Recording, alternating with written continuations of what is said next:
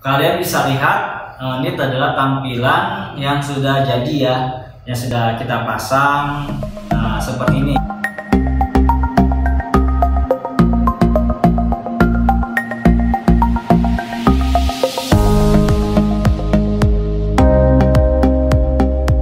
Halo sahabat Fashion Blade, apa kabar? Kali ini saya akan mengenal lebih dekat ya tentang roller band komponen-komponennya atau part-partnya ya.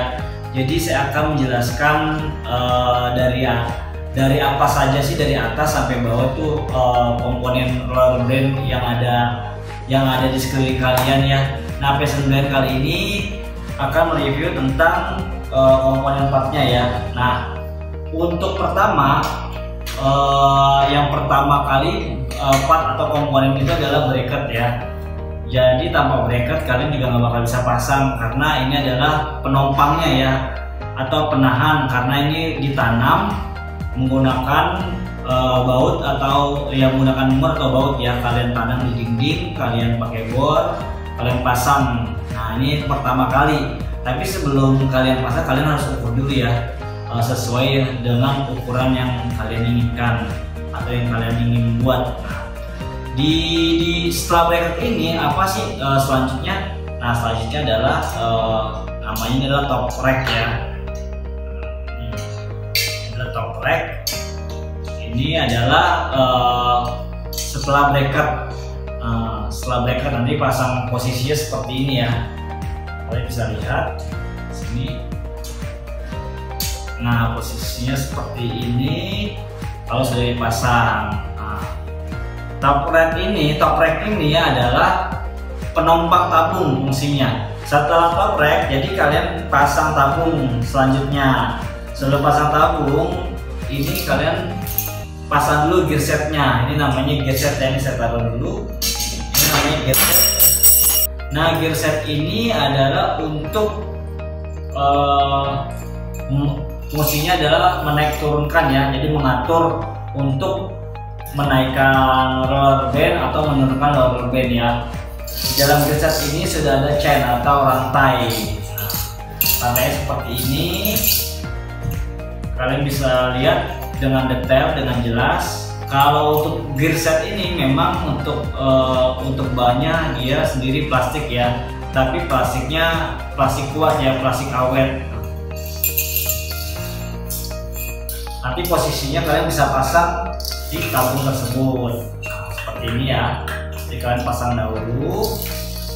Nanti setelah kalian pasang sudah pasang bracketnya kalian bisa langsung pasang tabungnya seperti ini.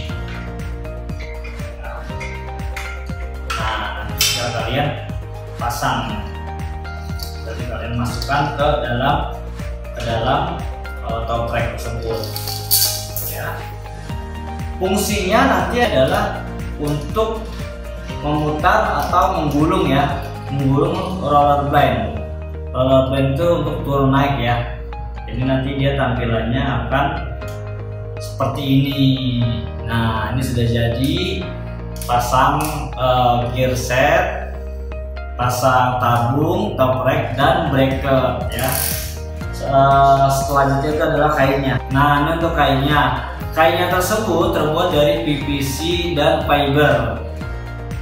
Jadi kelebihannya pertama adalah ini sangat awet sampai 10 tahun. Terus kedua juga tidak mudah pudar ya warnanya. Lalu kalau kalian mau bersihkan juga kalian ya bisa bersihkan langsung. Biasanya kan ada beberapa produk yang baru beberapa tahun mereka sudah getas atau sudah gampang robek, gampang gampang sobek atau gampang pecah ya. Jadi kalau kalau fashion blade ini adalah terbuat dari PVC dan fiber, jadi sangat kuat sekali ya.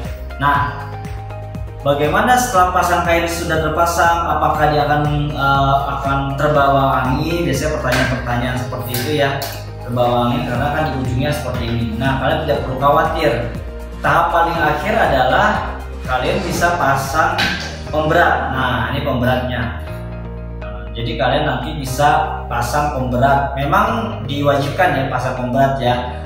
Karena untuk saling membantu kayak seperti gear setnya untuk membantu atau menggulung tabungnya untuk menaikkan atau menurunkan kainnya. Nah pemberat ini adalah untuk mengatur mengatur tersebut. Jadi kalau seandainya tidak ada pemberat pun uh, tidak disarankan ya.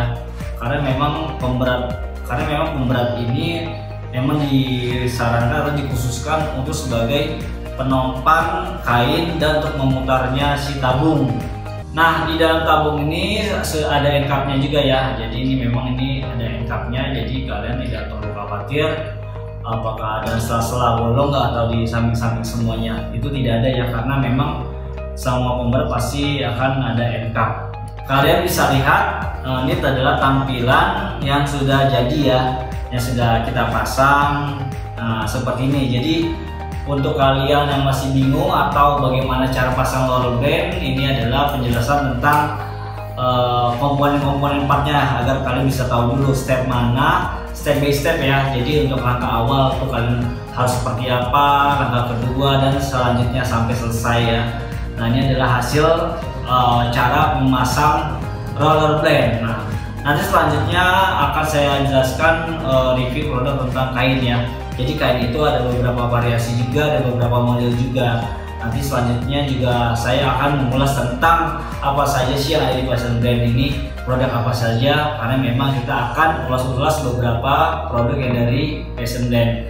Jadi itu saja saya ucapkan terima kasih kalian sudah menonton video ini dan sampai jumpa.